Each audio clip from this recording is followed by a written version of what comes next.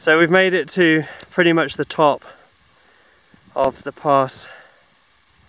We're at about 2,000 meters and as you can see the fog, the mist has descended. I've lost Nick but hopefully he'll be catching up with us momentarily.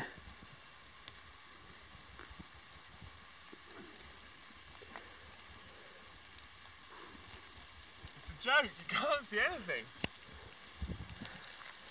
Wave to the camera, Tinky Winky. Hope there are no oncoming trucks. Not like the one we just met before. As you can see, within 10 metres, Nick is gone.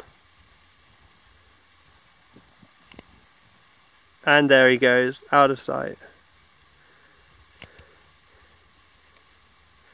Incredible. A total whiteout here at the top of the mountain on day four of the Pamir.